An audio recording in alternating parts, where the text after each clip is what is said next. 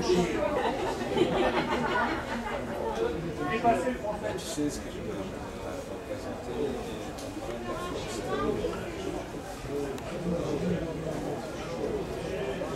Ah oui.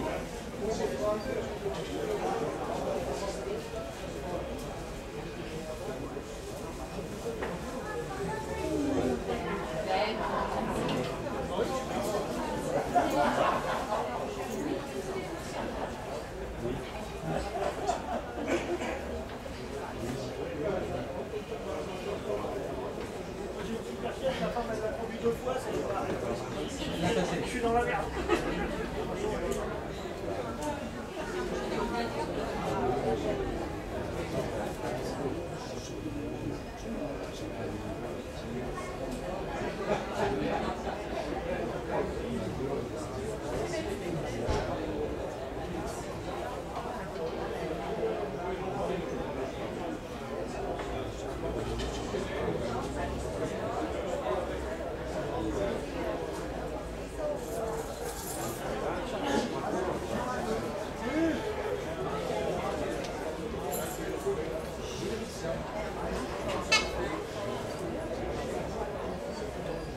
C'est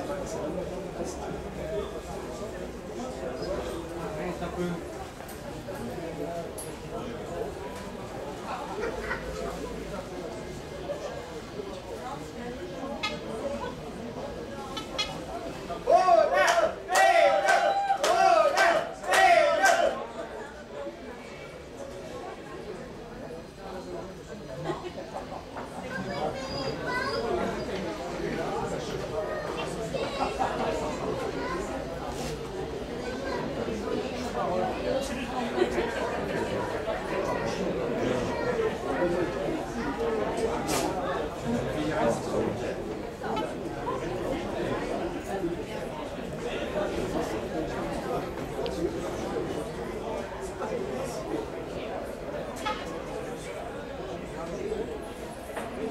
Il